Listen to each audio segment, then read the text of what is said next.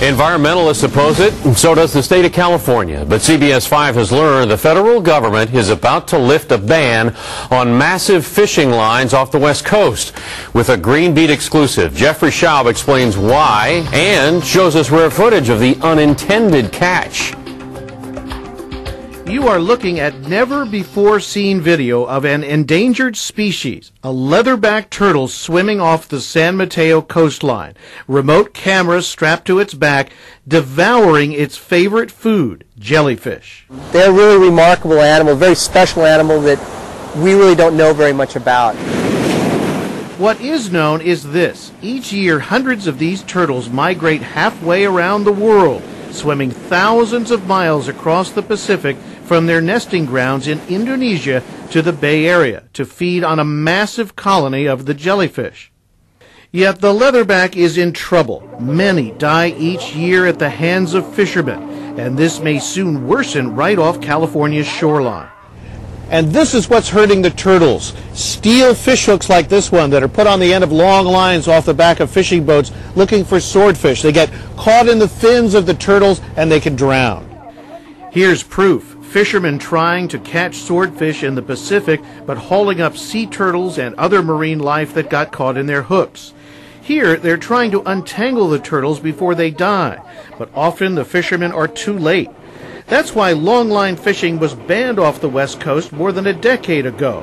But now, and despite opposition from California's legislature and environmental groups, the National Marine Fisheries Service is getting ready to allow longline fishing between 50 and 200 miles off our coast. At a time when they should be trying to protect these sea turtles and save every single leatherback that remains, they're putting more hooks into the ocean and increasing threats to this species.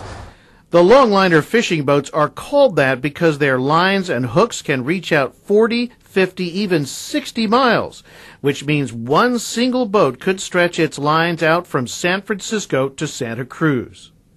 Uncle Sam is under pressure from the fishing industry to open up western waters because swordfish are so plentiful here and the fish can fetch up to $20, $30 a pound.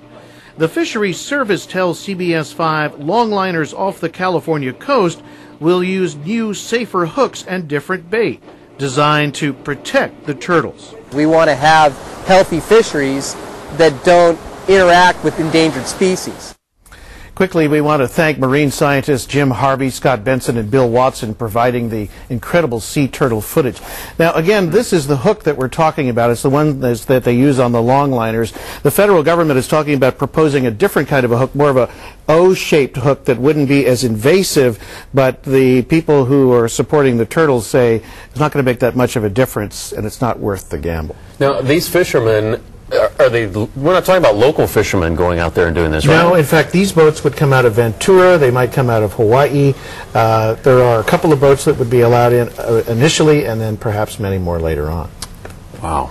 Yeah, right. there is no long line fishing out of the Bay Area or Northern California hmm. right Interesting. Okay. Thank you, Jeff.